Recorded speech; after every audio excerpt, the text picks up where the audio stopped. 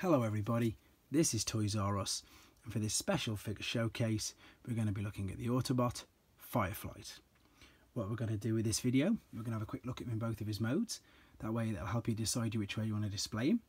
I'll show you the accessory that comes with him and also point out things that you need to be aware of if you have to purchase him one for yourself. We can also look at him combined as part of Superion and as I'm lucky enough to have a couple of different types of packaging we can have a look at the different artwork that's on the back of them and the lovely battle scenes as well. So let's get started. So as I said, his name is Fireflight. He was released um, along with four other um, Aerialbots and they combined to form Superion, which is this large combiner here. They were all released in 1986 initially and um, in Japan they were known as the Scramble City wave of toys. And I'll just grab the little box first to show you that. And that says there you can see on the little box that's all I'm going to show you for now and here. The C stood for Cybertrons which was the Autobots and Scramble City basically referred to the fact that you could scramble all the limbs. So he's most commonly put as Superion's right arm but of course he could be any arm he could be any limb. He obviously couldn't be the main torso but that's what the Scramble City uh, referred to. So yeah you could scramble all the limbs and that's what he was commonly known as. Um, let's have a look at the figure itself then so the figure itself is very, very basic because of this, because it is just a limb. Um, but you do have movement in the arms, ball and socket joints, quite impressive. Um, no real movement in the legs. Um, this is his weapon and it just slides on the side. I'll just show you this quickly, see if we can get it into focus. We're going to get it. There we go. It's the twin blaster. And so you need to make sure that it's got the clip like that. Otherwise it's not going to slip and fit onto his arm like so. If it hasn't got the clip, it won't attach to it. So there we go. He says as he drops it. right, so there we go, that's better. There we go, so that's him in robot mode. You can also see straight away that there's a lot of white and this can get terribly sun damaged, sun bleached and come out a horrible colour of yellow. But this one's quite a good example, uh, so that's something that you need to be aware of. Uh, when it's in jet mode, you won't be able to see if the head is intact. But because he is an arm it's very important that that is there because that's what's going to slot into the side of Superion there. So in jet mode unless it's turned upside down you wouldn't know. So you would definitely need to see that. That's really important. Stickers do play some part and you can see these are a bit off center um, and it would look really really I suppose dull without it. But there he is nice very basic robot but you know fits his purpose. Let's have a look at the alternate mode then. So I like the alternate mode on this to be fair. It looks really, really good. Um, with the alternate mode though, there's literally nothing else that you can attach to it. So if you had his weapon, um, you'd need to store it somewhere safe. Uh, but if you didn't have his weapon, then obviously you could display it in this mode. Again, be aware of the white on the wings. And sometimes, because these slide up and down as part of the transformation, sometimes these can come out and fall apart. In fact, I've got a good example in a second, I'll show you. But there's his alternate mode. Looks good. Again, be aware of sun damage with regards to this. So what we've got is we've got a few different types of packaging, but before we look at there, let's have a look at the main robot. So here is Superion, and I probably shouldn't have picked him up because he might not stand up again, but there he was, traditionally in his right arm, where he fit, and it's still a it's still a good combiner. He doesn't get the credit he deserves, I think. A lot of problems that you do have is exactly what you're going to witness now is that it doesn't always stand and even though my Silverbolt does tend to have tight joints here we go. That's better that he does he does have a job at getting him to stand.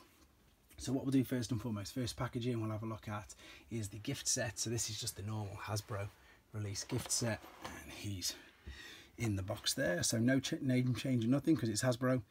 Fireflight there he is. There's the lovely artwork for Superion and if we spin this around we've got one of the more common well 1986 this was used on a lot of 85 things to be fair but this is the gift set from 86 and that's the battle scene on the back.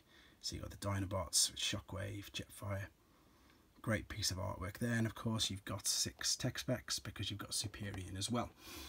So that's the gift set. Um, we'll move along to the little Japanese box then. So I've mentioned it was uh, made in Japan under Takara and the fact that it was a scramble city and of course they um, detail all that on the box so there we go again scramble city Takara made. And then if we have a look at the back of this, we've got one of my favourite battle scenes there. So we've got the two Titans, we've got Metroplex and Trypticon but they're transformed into their all the modes. Lovely piece of artwork there. Before we move on to the classics one, I'm also lucky enough to have, this is um, only released in England, this is a mail away Weetabix version of him. So for my American viewers, this is probably the same as like, but obviously nowhere near as good as your Jazz Cookie Crisp. So you got a lovely Jazz figure, we got a um, Aerialbot, but we also got a Dragstrip as well that we could mail away for. So yeah, Weetabix is a breakfast cereal in the UK and it is still going.